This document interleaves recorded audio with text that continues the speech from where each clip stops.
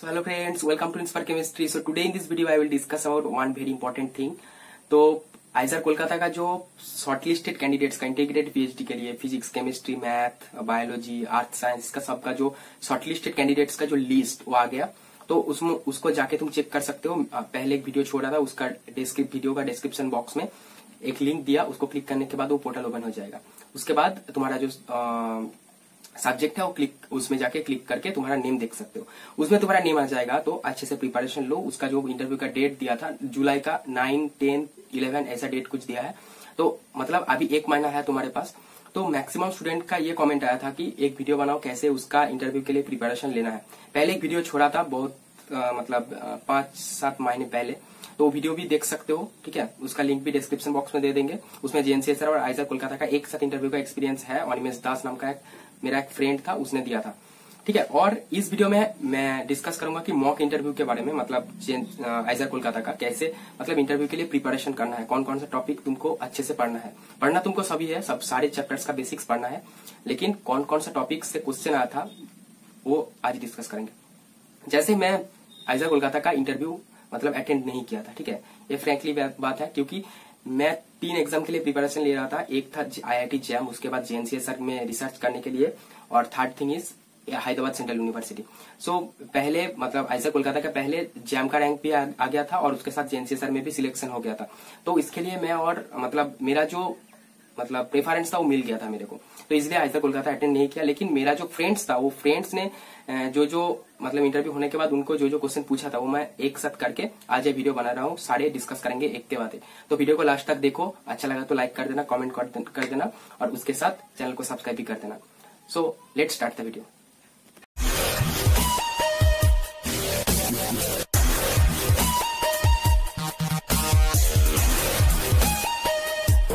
तो देखो first thing is interview board में जाने के लिए तुमको फ़र्स्ट थिंग मैं बहुत सारा जो जो वीडियोस बनाया था, मैं, मेरा फ्रेंड्स ने जो एक्सपीरियंस दिया था, उसका फ़र्स्ट एक इम्पोर्टेंट पॉइंट था कि इंटरव्यू बोर्ड में जाके तुमको काम कूल रहना पड़ेगा एंड पॉजिटिव रहना पड़ेगा। क्योंकि वहाँ पर जाके डर गया तो मतलब मर गया।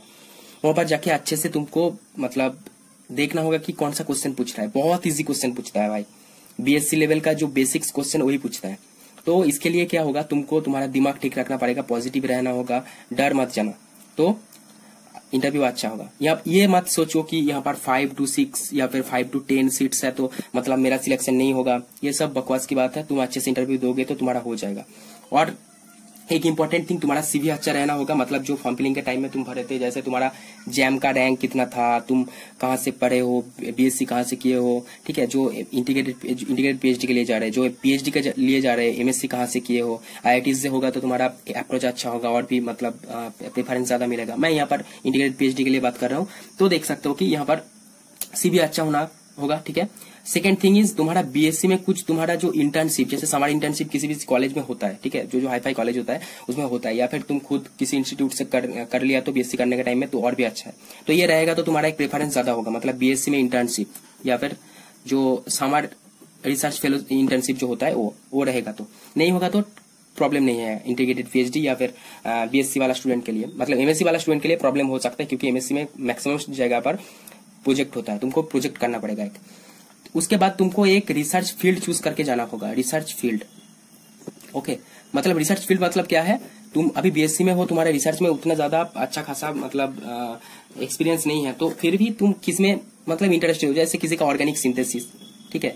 किसी का ऑर्गेनिक सिंथेसिस हो सकता है। उसके बाद किसी का हो सकता है ऑर्गेनोमेटालिक्स ठीक है? ऑर्गेनोमेटालिक्स हो सकता है। किसी का हो सकता है कि पोरास मटेरियल ठीक है? ये सब मटेरियल केमिस्ट्री रिलेटेड या ऑर्गेनिक रिलेटेड किसी का हो सकता है बैटरी रिलेटेड ठीक है? तो ये सब थिंग्स हो सकता है। जिसमें इंटरेस्ट होगा वो एक स्पेसिफिक मतलब तुम्हारा एरिया चूज़ करके जाओ। वहाँ पर पूछेगा तो तुम बता सकते हो कि मैं, मैं तुम वहाँ पर जस्ट फ्रेंकली बोल सकते हो कि हाँ मेरा इसमें इंटरेस्ट है मैं इसमें काम करना चाहता हूँ।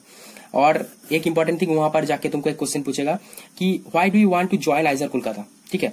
तो तुमको बोलना होगा कि आइजर कोलकाता में ये मत बोलना कि आइजर कोलकाता का पॉपुलरिटी ज़्यादा है यहाँ पर आ जाऊँगा तो मेरा स्टेटस बढ़ जाएगा। ये नहीं है। ये तुम्हारा अंदर का बात है। ये मत बोलो। यहाँ पर जाके बोलना होगा कि यहाँ पर जो फैकल्टीज है अच्छा होता है। मैं मैं, जिसमें रिसर्च करना चाहता हूँ वो रिसर्च का सुपरवाइजर भी मिल जाएगा यहाँ पर। उस फ़ील्ड में यहाँ पर रिसर्च होता है। यहाँ पर मतलब रिसर्च के लिए जो जो इंस्ट्रूमेंट्स का ज़रूरत है वो यहाँ पर अच्छे से मिल जाएगा।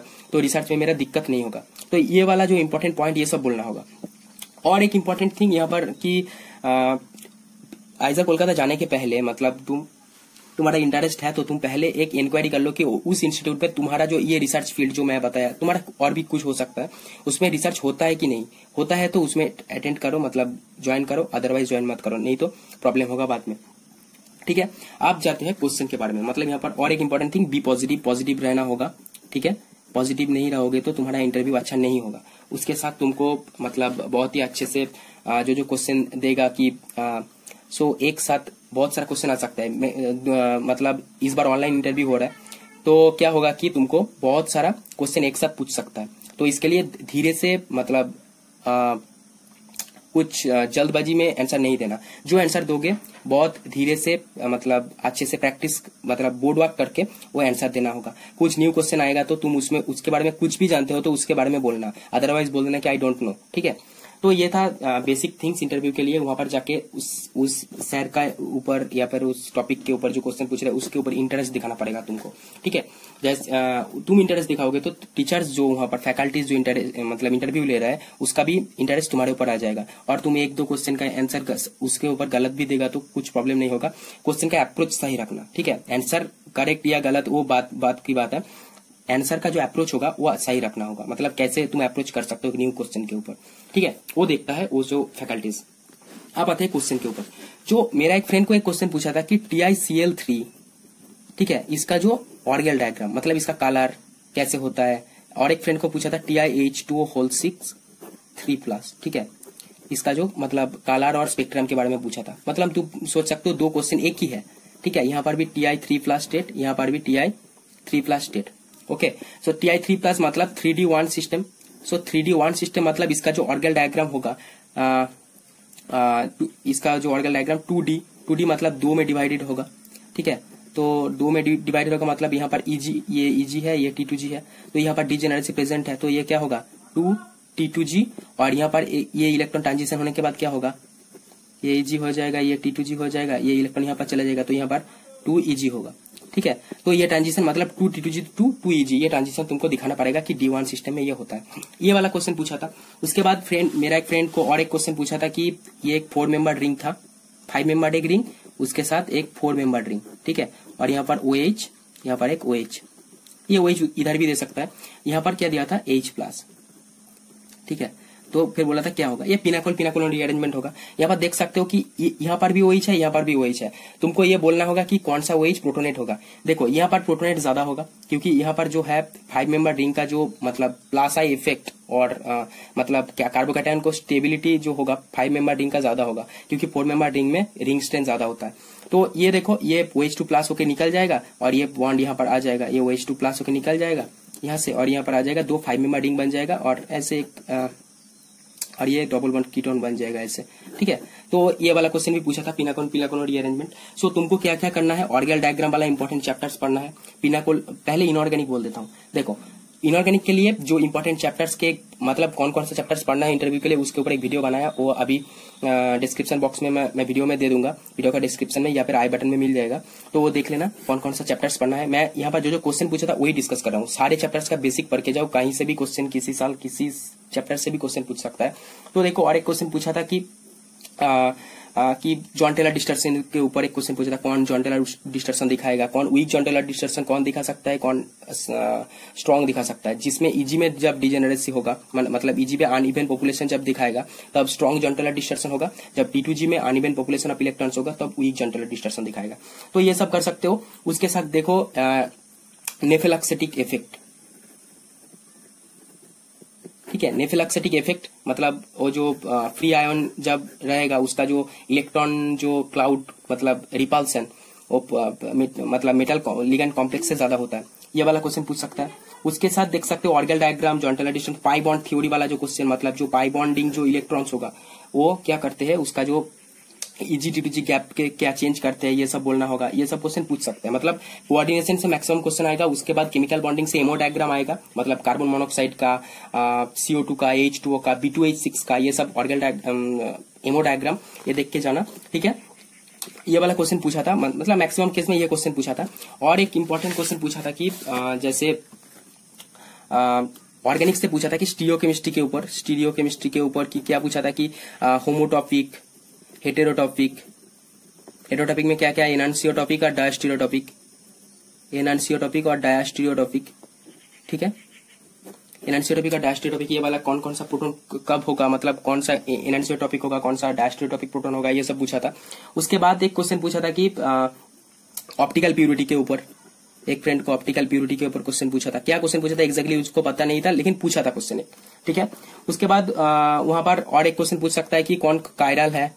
मैक्सिमम रिंग कॉम्पाउंड देता है एकायरल है, ठीक है? स्पाइरो कॉम्पाउंड का जो स्पाइरो कॉम्पाउंड होता है, उसका कायरलिटी एकायरलिटी के ऊपर क्वेश्चन पूछता है। ये देख लेना एक बार।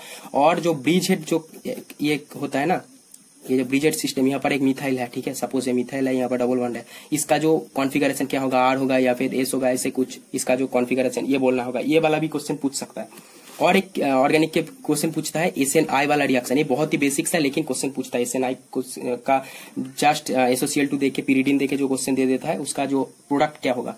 उसके साथ ई वन सीबी ये वाला क्वेश्चन भी पूछता है, ठीक है? रोबिनसॉन रिंग एनुलेशन रोबिनसॉन्स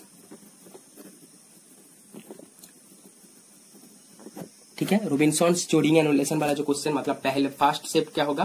फ़र्स्ट स्टेप होगा कि माइकल एडिशन इसके बाद एल्डोल ठीक है? माइकल प्लस एल्डोल तो ये वाला क्वेश्चन पूछ सकता है, ठीक है? एमबी के एमबी के एमबी के देकर ये करना होगा? मिथाइल विनाइल कीटोन मतलब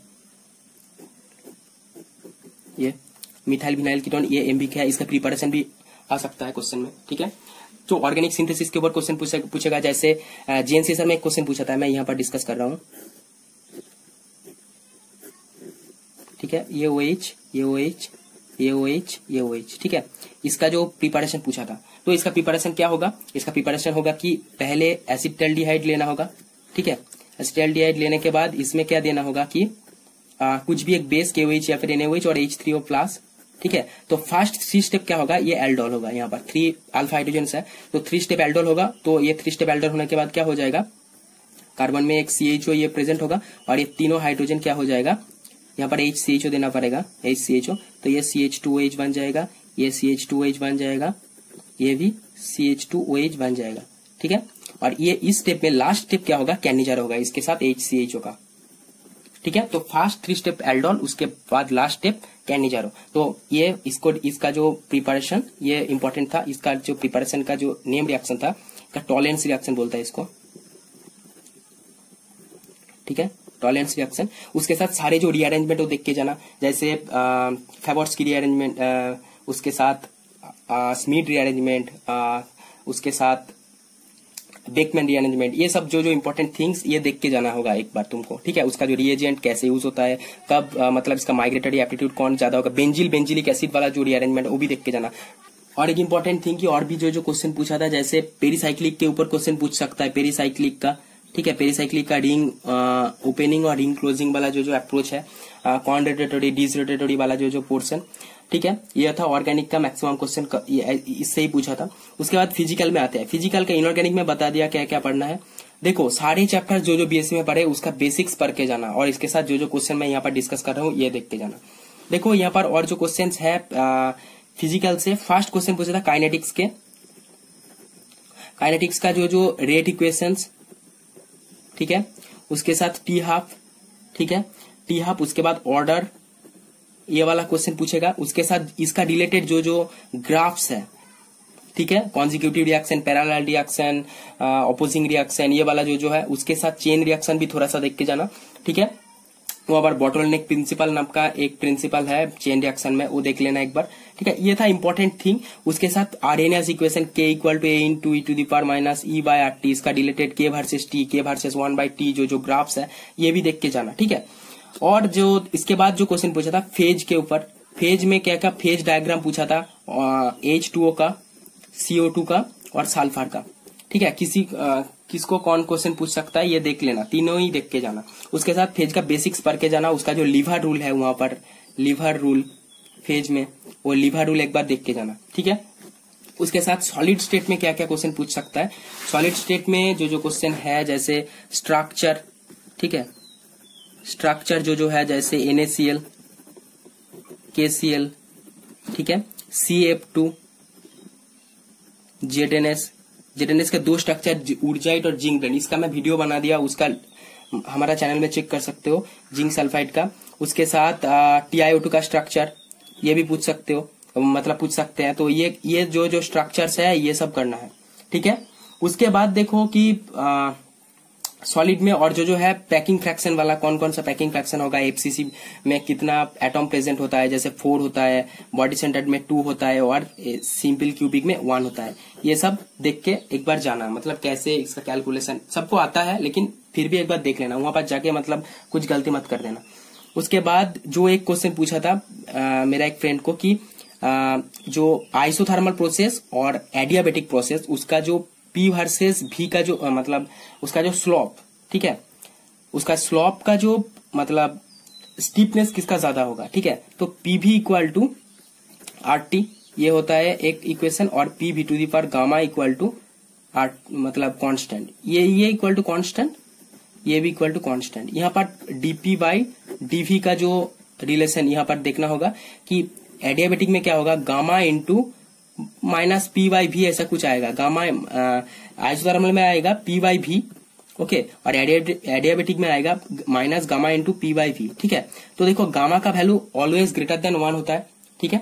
तो क्योंकि gamma equal to CP by CP maximum case में होता है कभी कभी सीपी लेस देन भी होता है सीपी से, वो भी पोर्सन देख के जाना, कब कब सीपी सीबी इक्वल होगा, कब सीपी ग्रेटर देन सीबी कब सीबी ग्रेटर देन सीपी ये सब देखना। तो स्टिफनेस एडियाबेटिक का ज़्यादा होता है, ये वाला पोर्सन ठीक है? तो ऑलमोस्ट जो जो क्वेश्चन पूछा था, मैं डिस्कस कर दिया। तो ये वाला क्वेश्चन देख लेना एक बार। तो तुम्हारे मतलब इंटरव्यू के लिए अच्छा होगा। तो सारे चैप्टर्स का बेसिक पढ़ के जाओ। ये जो जो मैं क्वेश्चन डिस्कस किया, ये वाला क्वेश्चन देख के जाओ। So that's all for today's video if you get any information from this video please hit the like button please subscribe our channel and please share this video with your friend thank you for watching see you in the next video